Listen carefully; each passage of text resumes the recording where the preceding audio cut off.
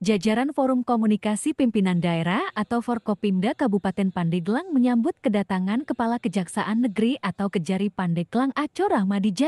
Acara penyambutan Kajari baru ini digelar di Pendopo Pandeglang, Senin malam, 10 Juni 2024. Dalam acara kenal sambut Kepala Kejari Pandeglang, itu dihadiri sejumlah Kepala UPD Pemkap Pandeglang. Bupati Pandeglang Irna Narulita berharap Aku Rahmadijaya sebagai Kepala Kejari Pandeglang yang baru dapat membawa perubahan positif. Irna menyampaikan pesannya kepada Aco Rahmadijaya agar terus memajukan Pemkap Pandeglang.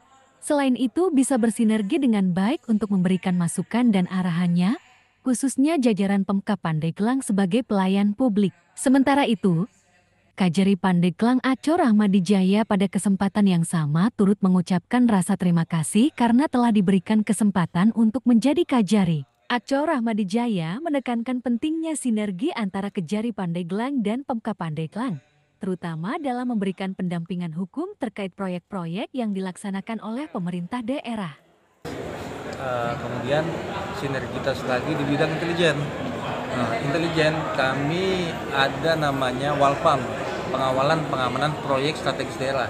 Nah, proyek strategis daerah ini adalah proyek yang mana ditandatangani oleh bupati yang mana dinyatakan sebagai strategis daerah.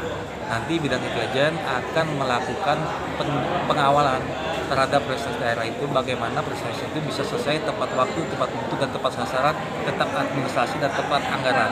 Itu. Tidak apa lagi. Sinergitasnya Intel, Datun dan kalau Pintus nggak ada, Pintus itu tindakan kita, nggak mungkin kita sinergitasnya. Kami juga melakukan penyuluhan juga kepada kepala desa terkait dengan anggaran desa ya. Karena selama ini kan sering terjadi, sini kan desa banyak kan? Nah, karena sering terjadi penyalahgunaan anggaran desa itu di mana-mana mas.